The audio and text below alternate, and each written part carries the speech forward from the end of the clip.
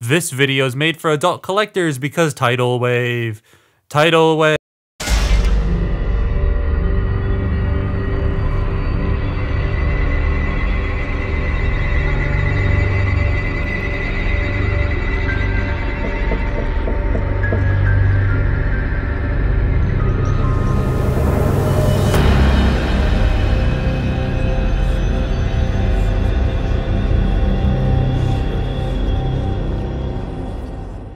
I have been looking forward to this thing for ages. Ever since I was told about it a couple years back, this has quickly become my most anticipated Titan. But does it deliver? Well, now that it's out, thanks GameStop for randomly calling me a month before its release saying they got him in. Jokes aside, this thing is sick. There is a lot of play value here, even for a Titan. Normally, a Titan is a robot, an alt, a base, and another figure of some kind to go with it, be it a Micromaster or a Deluxe. Then there was the new Metroplex that had two alts, a robot, and a massive like interactive weapon. Then we got the Nemesis, which was just robot and ship. Tidal Wave has a robot, an alt, three separate alt modes, a base mode, three smaller alt modes, and a combination for Megatron. That is a lot of stuff. And the plastic, compared to say the Nemesis or Zarak, it feels a lot better, which it should, because it's a tad bit smaller than most other Titans. It's about the same height as the Ark. I love all the details though. I don't have my old one anymore, but it shares a lot with that older toy. The pistons on the thighs, the details inside the legs, and the aircraft carrier detailing on the arms all sell how big this dude is supposed to be and more. I like the deco choice here, going for a more show accurate look. The purple is a nice deep rich shade of purple and the two different types of gray. I'm also a massive fan of the yellow lights. It really sells how big this guy is supposed to be with those before mentioned details. Head sculpt is fresh. The lines are all sharp and angular, but also smooth. The paint on it is nice too, the lush silver and the lights on his head. I love that look. He has massive feet, so this thing is not falling over. And then the ratchets. All the ratchets feel super solid, and they don't feel like those kind of crappy hollow ones the Ark and Nemesis have. These ones feel like they have some meat behind them. Sometimes a bit too much meat. The knees.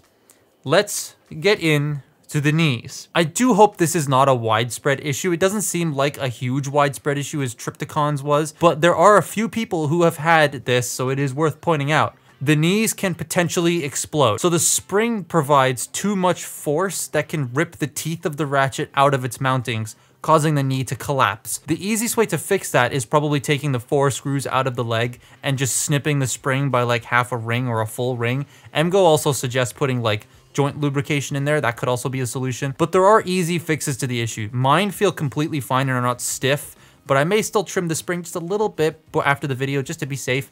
But that's like my, the only big issue personally to me, and my copy doesn't seem to be affected by it. I know some don't like the back being empty with this bit here, but like you can use the butt flap to kind of cover most of that. That's what I do, because and then it doesn't bug me. I will say, in poses, he isn't the most dynamic looking, like, he can't do any crazy shit like Metroplex, but what he can do is not bad. But his robot plate doesn't stop there. You can take the fingers, the back, and the legs apart with this like mini Dark Fleet, and he looks mostly complete still without it. They made sure that he will look like a figure that's not missing bits horribly. But you can take these little dudes and combine them with Megatron to form Burning Megatron, or Galvatron once he comes out. And this is why his shoulder pads don't move with the shoulders because of all this stuff. But Burning Megs is cool. I still wish the Tiny Dark Fleet though could form a mini tidal wave or maybe a mini aircraft carrier combo because they can't do that. His posing, he has all the joints, but due to how like this works, it makes things a tiny bit awkward. So the head can rotate, it can do a full 360. Then you have this joint right here you can unclip so he can look down. The shoulders, they have a backwards butterfly joint due to transformation. You can do that. They can also go forward a little bit, but they don't they don't stay. Nice clickety ratchet going around. The arms can go out that far. You have bicep rotation. Over 90 degree bend at the elbow. That can come off. Oh, it just pegs on. Okay, that just pegs on. The fingers, the thumb can move and rotate and these fingers are all attached together, but they can move as well, and you can open the whole hand if you want. The hip skirt is one piece. The one piece is, it's one piece because of all these on it, but he does have a waist joint. And I have a squeaky ratchet. Hips can go forward that far. They can go back pretty much all the way. They can go in and out. You have ratcheted thigh swivels, you have those knees. They can bend about 90 degrees. Ah, there we go. And then the feet, you have ratcheted ankle tilts. You can't see that. You have ratcheted ankle tilts. But when you move the ankles back, the combining pegs like to come out, which is a tiny bit annoying, but this, that's like a nitpick. But yeah, that's his posing. He's got a lot of stuff. He's just not as posable as, say, Metroplex was. Also, you break up a sweat trying to pose this thing. So that's the robot. He does have a base mode. There are a lot of things you can do with the base mode, and it looks neat, but it isn't a mode I think I'm gonna ever put it in again. Okay, so it is unfortunate that you can't not disassemble him to transform him, but because I'm doing the disassembled mode first and then the reassembled mode later, it works for the video, I guess. So get your fingers back in place. To start with, we are going to tear his arms off. So you just pull and they come right off but they're really solid even though they're super easy to like pull off. They don't come off unless you like grab a very specific way and pull it off. Then you want to close this up and fold that in straighten out the arm and rotate it. We're to flip that flap up. We're going to open this section rotate the fingers around close that up and then just sort of fold that over. And that is one half. The other half is ah, yeah, pretty much the same except you fold up the command bridge as opposed to folding out that little pointy bit that all aircraft carriers have that I have no idea what it's for. What's it for? If somebody knows, please let me know, because I have no idea what this is for on aircraft carriers. But you peg that together, and that is the aircraft carrier mode. Yay. All right.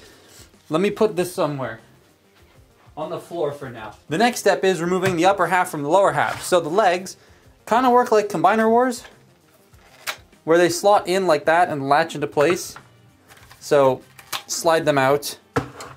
We'll do the legs last. We'll do this boat thing first. So to start with, we rotate the viewfinder so I can see. You want to take this chest section here and bring it up. It's on a double hinge, so you bring it up, fold the back plate down. This will fall out because mine doesn't stay in super secure, so when things start to click, it falls out. So I'm going to remove it. Then you're going to rotate these around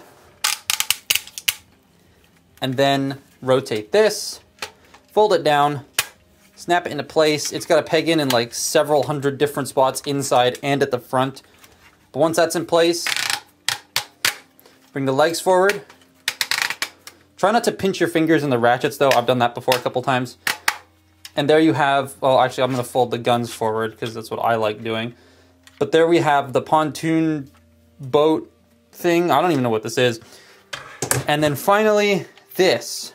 So, to do this, you want to fold the feet, flip this out, peg it in, fold out the wing, open this section up, rotate the knee in, and that's one, one done.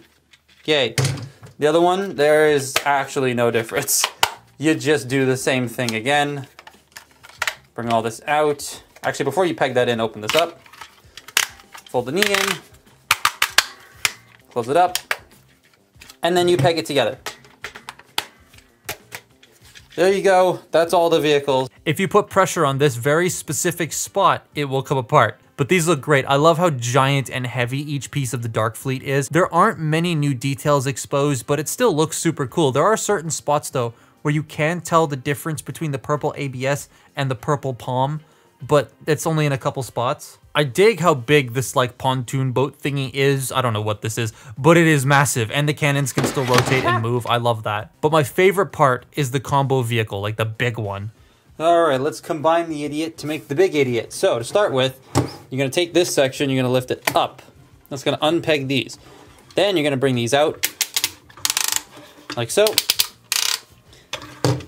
And we're just gonna open them up a little bit so that we can take this and you want to clip it together here. Come on, there we go. Oh, that fell out again. And then this will go and hug the head of Tidal Wave. Clip the other side together. Ah, and then bring this down, and these pegs will now peg into the inside of the cannon parts as opposed to the outside of them. And this, lining this up can be a bit of a pain because these have to be pushed as far back as they're supposed to go and then you can get it all lined up.